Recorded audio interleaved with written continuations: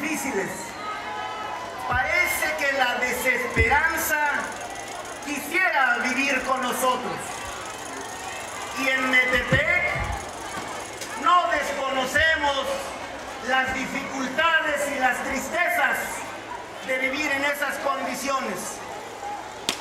Los últimos nueve años, Metepec se ha debatido